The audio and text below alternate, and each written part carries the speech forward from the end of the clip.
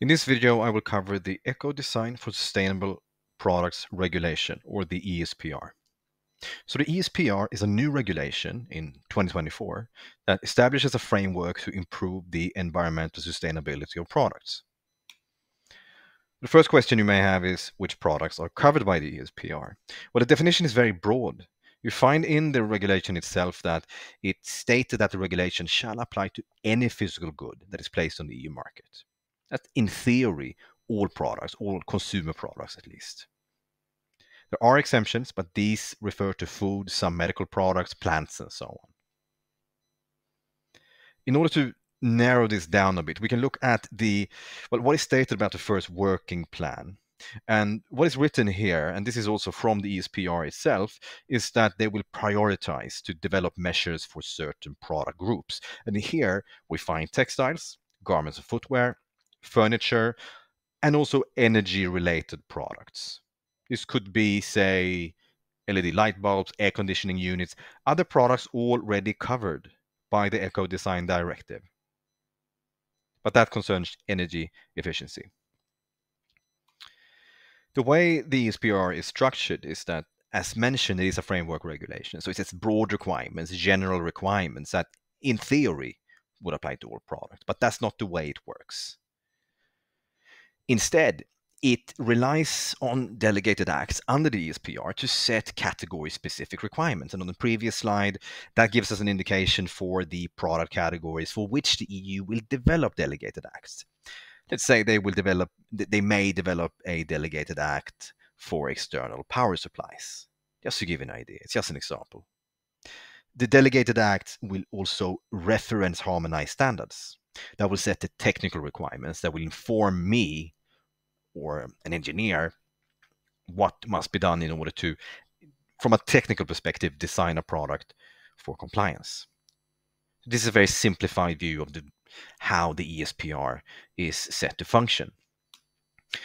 If we look at the framework regulation briefly, when I said that it covers broad general requirements, what I'm referring to is general requirements concerning delegated acts. It sets um, a certain framework that determines what is to be included in a delegated act to keep them somewhat standardized to ensure they don't diverge too much.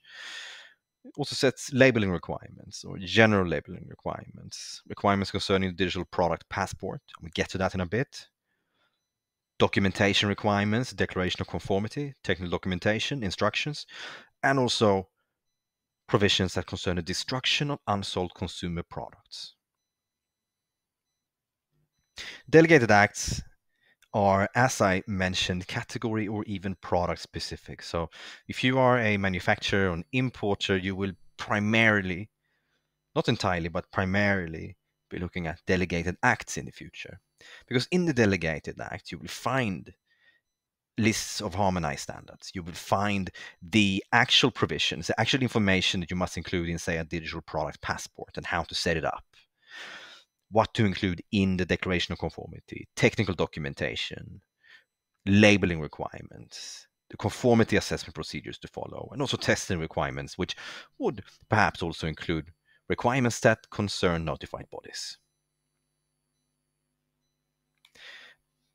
As I mentioned, there's already, as you may know, an Ecodesign Directive in place.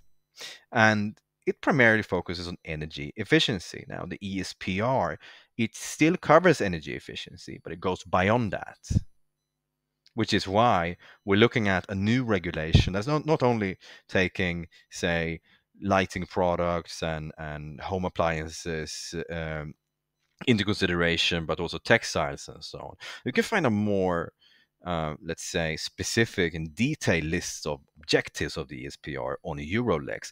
But just for context, beyond energy efficiency, we may be looking at delegated acts setting requirements for emissions or durable design or combination of these. So these are just examples the way that the ESPR could potentially impact your products in practice. That being said, the first delegated act is to be adopted not before July 2025. And right now is July 2024 as I'm recording this. So there's no delegated act for me to dig into and, and well, use as a case study. There will be in the future. That's the current status of the ESPR. Right now, it's very much a framework uh, regulation. It does have a lot of interesting information, though, the actual framework regulation, because it does inform. Well, it does inform the uh, um, the people that will develop the delegated acts on the constraints they have and what they must achieve. So it still gives us pretty strong hints about what we can expect in the future. And one thing that is of high interest is the digital product passport. Well, essentially, the digital product passport requires that you first register your product. It must have a unique product identifier. This will likely be in some sort of official database. Once you have obtained this, you can then affix a QR code to the packaging or maybe the product. We, I, I don't know the exact details yet, and I didn't read the entire ESPR. But what I do know is that you need a data carrier somewhere on the product packaging. It could be a watermark, or it could also be a QR code. The digital product passport will then be accessible by, say, scanning this QR code. And on this passport, which is in practice, well, at least in theory, perhaps a web page, perhaps some sort of phone application or combination, from where you can then access information about the product, digital user instructions, and so on. Details will be provided in the delegated acts. Should also be noted that the infrastructure is not exactly in place yet. What is stated in the ESPR is that the Commission shall set up a digital registry by July 2026. So it's not it's not it's not there yet. It will be, but not now, not in 2024.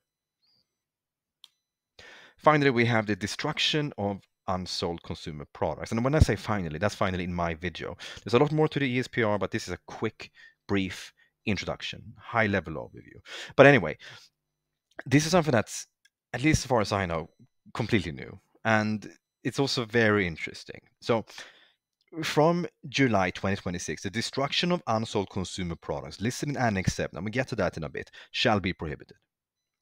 This paragraph will, however, not apply to micro and small enterprises. A definition can be found in the ESPR. And this provision, well, the effective date is delayed to July 2030 for medium-sized enterprises. Again, I believe you can find a definition in the ESPR.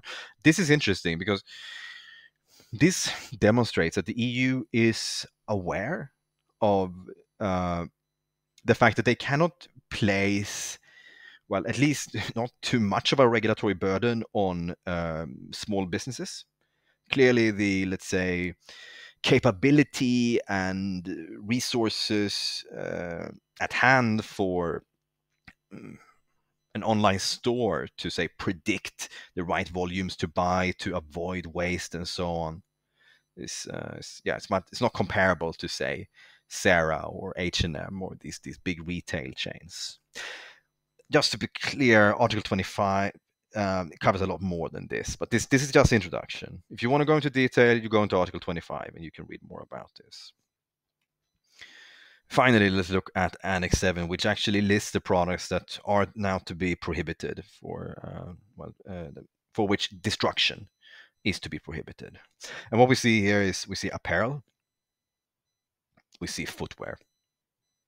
Mm, actually, that's that's all there is to it. This textiles products, textile products, and and and footwear.